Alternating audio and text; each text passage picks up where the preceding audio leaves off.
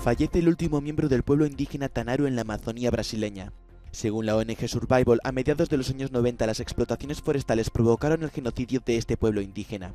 Desde entonces el último Tanaru ha pasado casi tres décadas viviendo en soledad en el Amazonas. Según la Fundación Nacional del Indio, gran parte de los grupos indígenas están amenazados por la explotación ilegal de los recursos naturales de los que dependen para sobrevivir.